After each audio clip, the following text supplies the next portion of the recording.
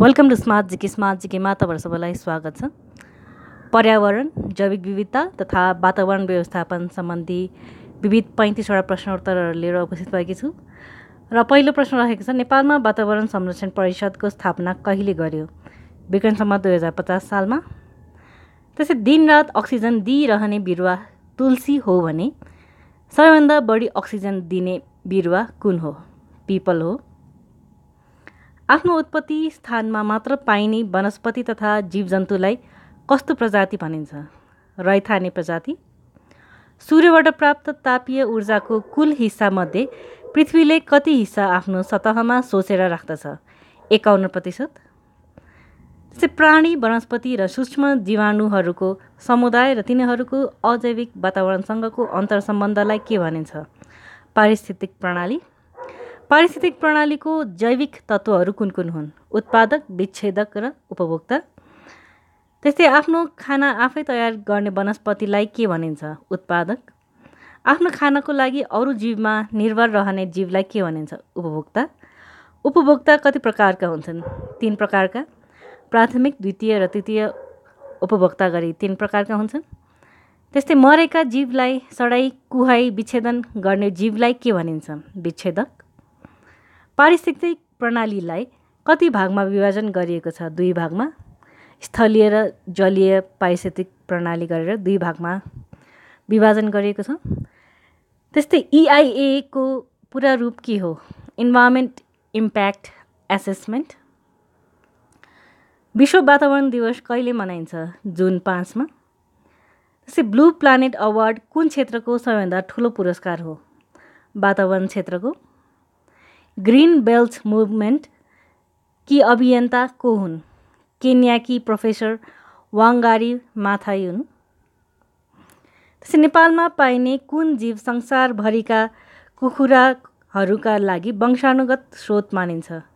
लुइचे जसलाई रेड जङ्गल फाल पनि भनिन्छ। त्यस्तै नेपालमा सबैभन्दा उच्च स्थानमा पाइने गुराँस कुन हो? Rhododendron Niwali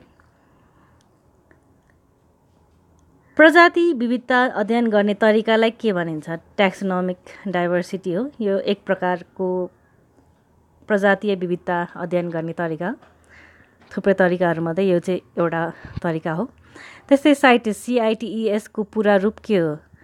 Convention on international trade in endangered species of wild flora and fauna यो साइटिस कहिलेदेखि लागू गरियो? सन् उन्नाइस सय पचहत्तर जुलाई एकदेखि?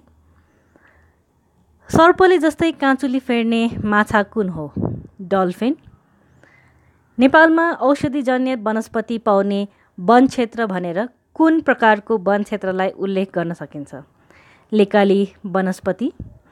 त्यसै नेपालमा मात्र पाइने चराको नाम के हो? काँडे भ्याकुर जसलाई स्पाइनी ब्याब्लर पनि भनिन्छ। त्यस्तै अम्ल वर्षा भएको भनेर पत्ता लगाउने पहिलो वैज्ञानिक को हुन्? रबर्ट एङ्गस स्मिथ हुन्। त्यस्तै वातावरण संरक्षण सम्बन्धी चिप्को आन्दोलन कहिले सुरु भएको हो? सन् उन्नाइस सय त्रिहत्तरमा। ओके टेक्स हन्ड्रेड भनेको के हो? वातावरण गुणस्तर मापदण्ड जनाउने अन्तर्राष्ट्रिय प्रमाण चिन्ह हो। ओके टेक्स हन्ड्रेड त्यस्तै समुद्रको वैज्ञानिक अध्ययन गर्न प्रयोग भएको पहिलो पानी जहाजको नाम के थियो? HMS Challenger. रामसार कन्भेन्सन केसँग सम्बन्धित छ? सिमसार क्षेत्रको संरक्षणसँग सम्बन्धित छ? सूर्य टुकी वितरण आयोजना कुन अञ्चलमा सञ्चालित छ? कर्णाली अञ्चलमा।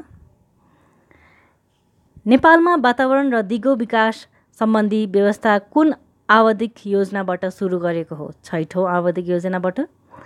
त्यसै वातावरण सम्बन्धी पहिलो अन्तर्राष्ट्रिय सम्मेलन कहिले र कहाँ भएको थियो?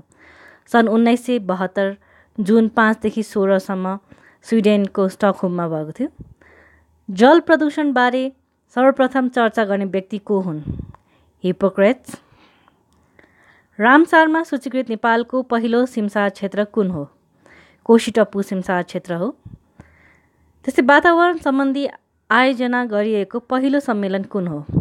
मानव वातावरण सम्बन्धी स्टकहोम सम्मेलन। त्यसै आजको अन्तिम प्रश्न रहेको छ बायोडाइभर्सिटी इन्टरनेसनलको मूल नारा के रहेको छ? Improving lives through biodiversity research. हस् त यसका साथै म यो भिडियो यहीँ टुक्याउन चाहन्छु तपाईँहरू लाइक सब्सक्राइब कमेन्ट र सजेस्ट गर्दै गर्नुहोला। धन्यवाद।